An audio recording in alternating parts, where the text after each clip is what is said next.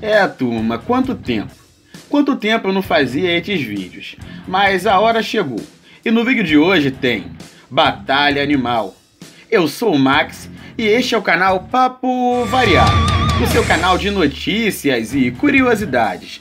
E se você curte esse quadro, então dê aquele like e se inscreva no canal. E não deixem de me adicionar no Facebook, o link estará abaixo na descrição. Turma, Antes de darmos seguimento a este vídeo, irei dar mais um aviso. O canal Papo Variado não apoia qualquer tipo de maus tratos a animais. Recado dado, agora vamos ao vídeo. Essa batalha animal será bem estratégica, pois os animais envolvidos serão bem calculistas. Leão do Cabo versus Leopardo das Neves. Olha, esse Leopardo das Neves foi o campeão de pedidos aqui do canal de Batalhas Animais muitas pessoas pediram por uma batalha com o Leopardo das Neves. Se eu for atender todos os pedidos, eu acho que vai dar mais de 10 batalhas. Eu irei atender a todos eles, no devido tempo, é claro. Mas essa luta, pessoal, não será apenas de um leão do cabo contra um leopardo das neves, mas sim três leopardos das neves contra um leão do cabo. Isso mesmo que vocês ouviram três leopardos das neves contra apenas um leão do cabo. Porque vocês bem sabem que no X1 não dá para o fantasma das neves não. O leão do cabo é muito maior e muito mais forte. E na verdade, qual é a graça de fazer um vídeo que todos já sabem o resultado? Então, bora inovar, pessoal. Agora, pessoal, vamos falar um pouco do primeiro combatente, o famigerado Leão do Cabo. Ele era considerado o terror das planícies da África do Sul. Era um predador furtivo e muito inteligente, extremamente oportunista. Os machos eram maiores, medindo até 3,35 metros de comprimento e pesavam cerca de 320 quilos.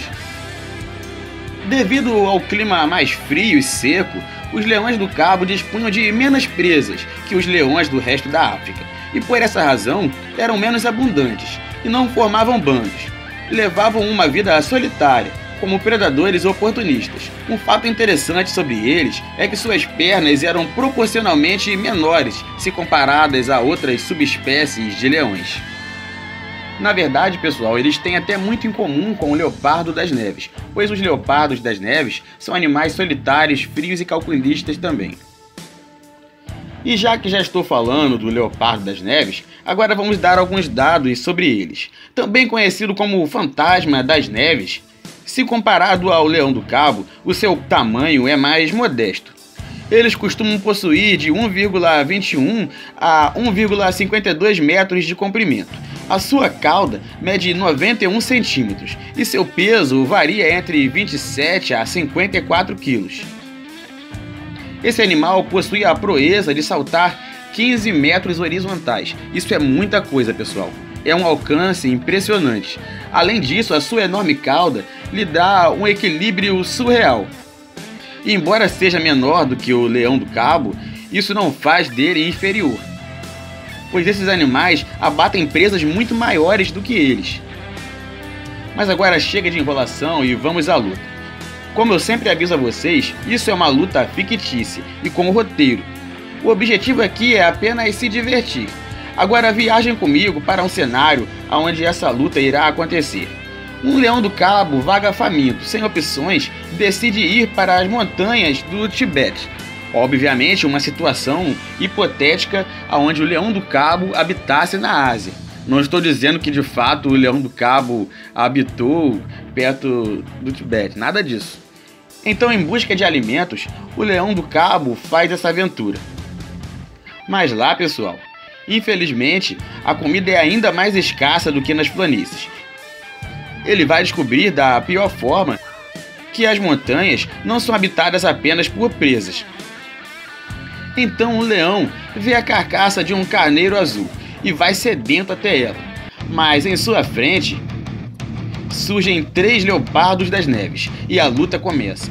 O leão do cabo tenta atacá-los e eles se esquivam com muita facilidade, pois são saltadores melhores.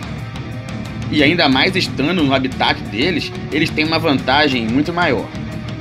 Então os leopardos abrem mão dessa vantagem e decidem atacar. pois para qualquer felino não é bom que um combate se prolongue. E isso foi um erro para eles, pois no mano a mano é complicado. Um dos leopardos é gravemente ferido pelo leão, mas não recua. E é aí que o fator conjunto faz toda a diferença. Enquanto o leão do cabo foca no leopardo das neves que está ferido, os outros dois começam a flanqueá-lo. E com as forças somadas, acabam dominando o leão do cabo. E o mesmo é finalizado. E os vencedores desta batalha animal são Leopardos das Neves. Bom, pessoal, essa é a minha humilde opinião.